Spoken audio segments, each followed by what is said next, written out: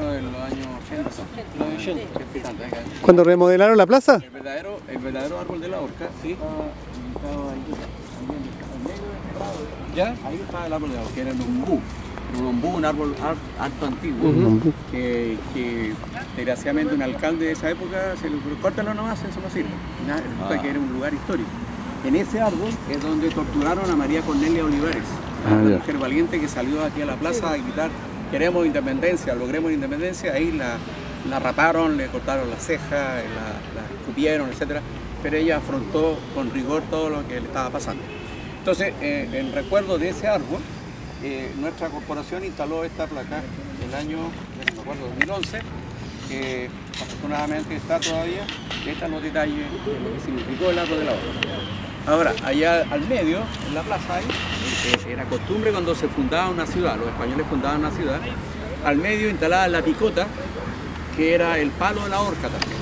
O sea, cuando, cuando no ah, eh, ahorcaban a alguien acá, en el árbol, lo ahorcaban ahí. En Santiago, don Pedro Valdivia, el primer, lo primero que instaló fue el palo de la horca, donde ahorcaron a uno de los primeros rebeldes que, que estuvieron en la huese de Pedro Valdivia.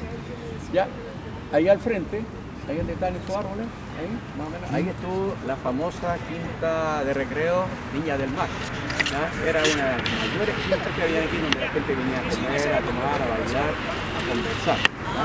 Ustedes saben que en Chillán Viejo había 20 quintas, quizás más, en Gratitud había también, ¿ya? Eh, donde venía la gente de Chillán a, a- a pasarlo bien el fin de semana. Un poquito para acá era más como campo más rural, Claro. que era interesante. Claro, era interesante.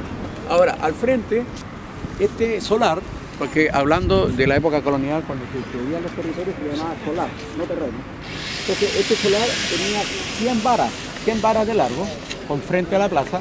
Entonces, la mitad de la- del lado costado sur, estamos mirando, aquí estaba la casa del cura párroco y estaba la casa del sacristán. Porque la iglesia está ocupada, la otra 50 varas de donde está ahora, donde está ahora la- la iglesia misma, la parroquia, ahí estaba la otra. Pero detrás de la iglesia, es un detalle que pocos lejanos lo saben, detrás de la, la de cuadra, detrás de la iglesia, estaba el cementerio de los pobres. Moría alguien pobre, menesteroso, ahí lo sepultaban. De hecho, cuando, cuando sacaban los escombros que, de la iglesia anterior para construir esta, gente que trabajó ahí dice que encontraron un hueso. El padre Ramón Seco que estaba a cargo de eso y sacaron vastos huesos. No hay duda que era el hueso de, los, esta gente que moría y los sepultaban. Entonces la gente a veces ni sabe dónde vive. Su casa quizás, ¿qué pasó en este caso?